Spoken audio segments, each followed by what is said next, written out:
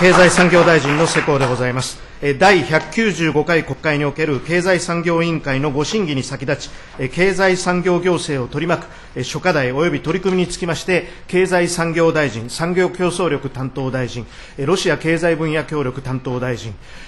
原子力経済被害担当大臣、内閣府特命担当大臣、原子力損害賠償廃炉等支援機構として、申し述べます。はじめに九州北部豪雨や台風21号などで被害に遭われた方に心からお見舞いを申し上げます。国と地域が一体となり、被災された中小企業、小規模事業者への支援に取り組んでまいります。安倍内閣の発足以降、名目 GDP は53兆円増加、正社員の有効求人倍率も1倍を超えるなど、力強い経済成長が実現しています。この成長軌道を確固たるものにするためには、生産性革命と人づくり革命を力強く推し進めることが必要です。経済産業省として施策を総動員してまいります。Connected Industries の実現に向け、人、金、データの3方向から具体的施策を進めます。教育現場におけるテクノロジーの活用、いわゆるエドテックやリカレント教育を推進するなど、第4次産業革命を支える人材を育成します。ユニコーンベンチャーの創出や大胆な事業再編を促す制度づくりを進めます。さらには企業の自前主義を打破し、企業間での協調領域におけるデータ共有の仕組みづくりを進めます。一方で、サイバーセキュリティ対策の強化が不可欠です。サイバー攻撃に関する情報共有の体制強化を図るとともに、IT セキュリティ人材の育成を進めます。神戸製鋼所や日産自動車などによる不適切な事案が問題となっています。日本の高品質な製品は世界からも強い支持、評価を受けています。今回の特異な事案が発生した企業に対しては、徹底した原因究明と再発防止を求めてまいります。通商政策については、自由で公正な共通ルール作りに取り組んでまいります。TPP11 は日本がリーダーシップを発揮し、大筋合意が実現いたしました。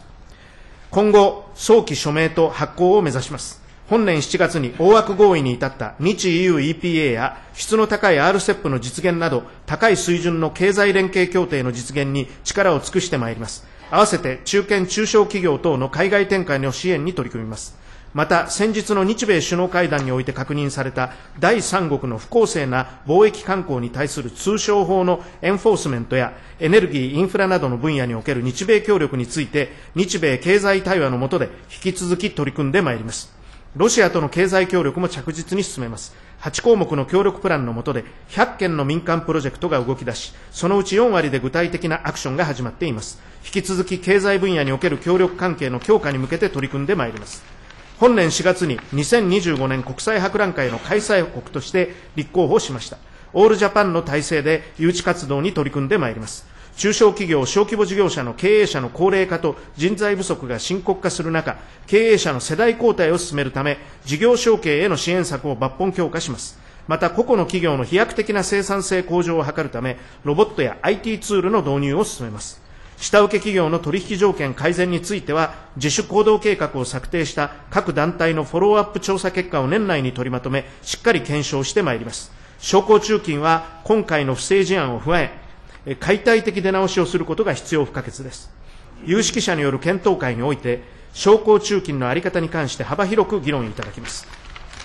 福島の復興と安全かつ着実な廃炉汚染水対策は経済産業省の最重要課題です。東京電力の経営改革を進めつつ、本年9月に改定した中長期ロードマップに基づき着実に取り組んでまいります。帰還困難区域を除き、ほぼすべての避難指示が解除されており、住民帰還や生活再建に向けて、福島イノベーションコースト構想の推進、福島早々復興官民合同チームを通じた事業なりわいの再建等に全力を尽くしてまいります。責任あるエネルギー政策を推進していきます。エネルギー基本計画の見直しと長期的なエネルギーの将来像の議論について本年度内を目途に一定の成果を出していきます。さらに徹底した省エネ、再生可能エネルギーの拡大、水素社会の実現に向けた取り組みを進めます。また、イノベーションの促進により、経済成長と世界全体での温室効果ガスの排出削減の両立を目指してまいります。